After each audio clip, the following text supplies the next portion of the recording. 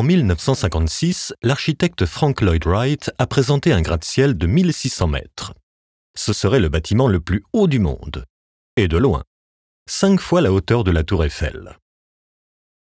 Mais de nombreux critiques se sont moqués de lui, disant que les gens attendraient les ascenseurs pendant des heures. Ou pire, que la tour s'effondrerait sous son propre poids. La plupart des ingénieurs approuvaient, et malgré la publicité autour du projet, la tour gigantesque fut abandonnée. Mais de nos jours, des édifices de plus en plus hauts voient le jour.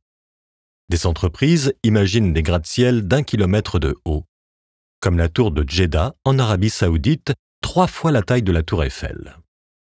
Bientôt, la tour miracle de Wright pourrait devenir réalité.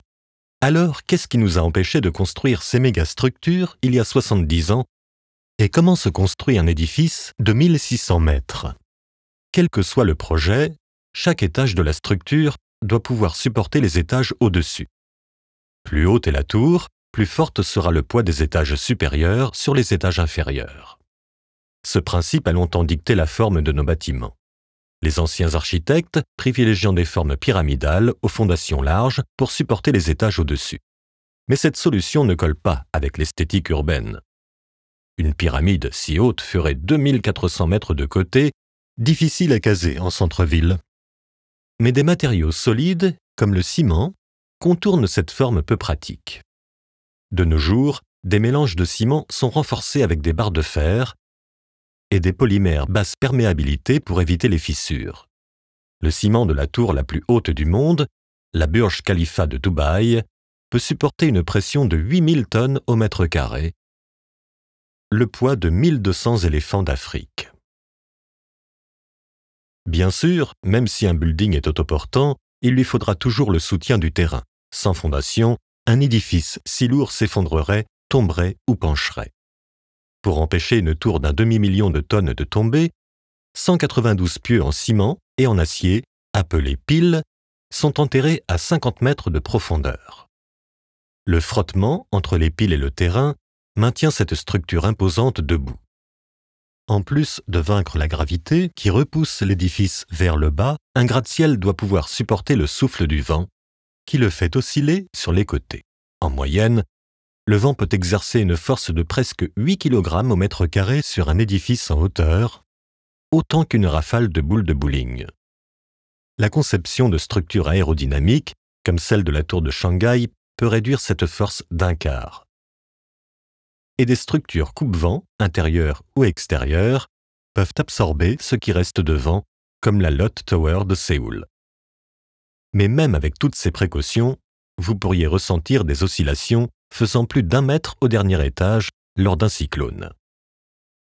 Pour éviter que le vent ne secoue le haut des tours, beaucoup de gratte-ciel ont des contrepoids pesant des centaines de tonnes, les amortisseurs dynamiques. Le Taipei 101, par exemple, a installé une sphère géante au-dessus du 87e étage. Quand le vent secoue l'édifice, cette sphère entre en action et absorbe l'énergie cinétique de la tour.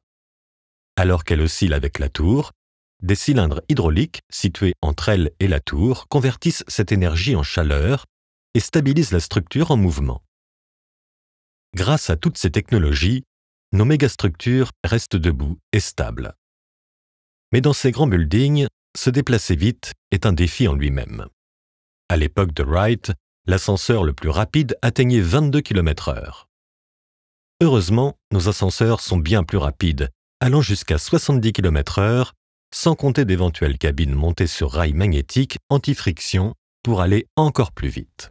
Et les algorithmes de gestion du trafic, regroupant les usagers par destination pour amener les usagers et les cabines vides là où il y en a besoin.